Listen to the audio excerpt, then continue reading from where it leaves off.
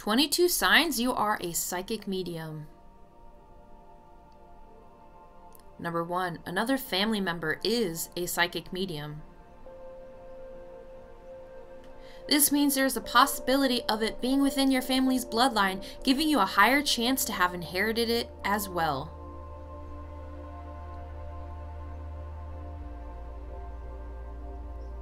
Number two, you see dead people and or other beings, aka clairvoyance.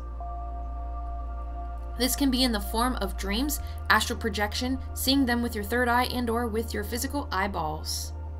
Number 3, you hear dead people and or other beings, aka clairaudience. This can be in the form of ear ringing, hearing metaphysical sounds, disembodied voices, hearing energetic and pressure shifts, invisible movements, etc. Number 4, you feel dead people and or other beings, aka clairsentience. This includes feeling their energy, their death, any physical effects, negative and or positive, from entities and spirits or even from those that are alive.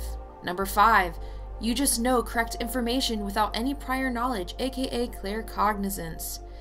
Can come to you as your own thoughts or a gut feeling about something or someone. Number 6, you often lucid dream.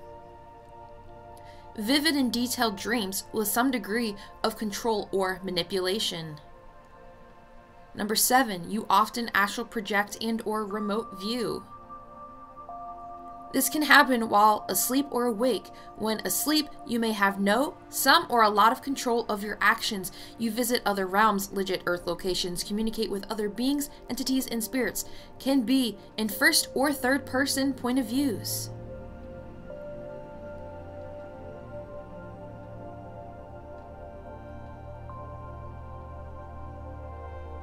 Number 8. You often see random shapes and colors when you close your eyes. When you close your eyes, it literally looks like a kaleidoscope of shapes and colors. Number 9. You have the ability to heal people.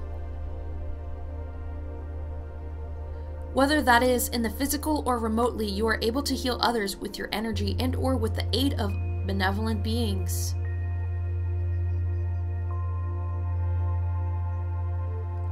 Number 10, you feel people's physical pain in your body, aka clairsentience. Oftentimes, you take on the mental or physical ailments of others, experiencing them as your own.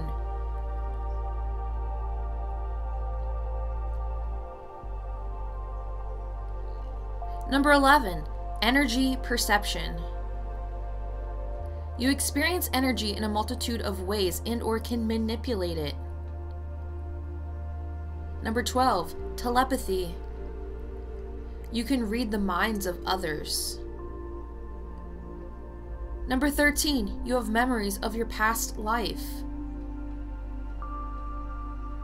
Many children experience this, and if you are someone where these memories don't fade away as you grow older, especially as an adult.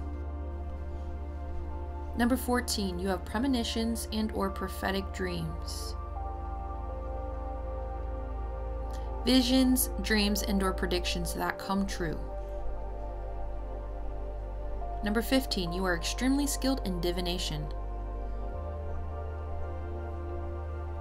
Not just your average tarot or oracle card reader, you use divination tools in combination with your intuition that allows you to relay accurate information. Number 16, you can communicate with animals any means that allows you to effectively communicate with animals. Number 17, you are hypersensitive in terms of your regular senses.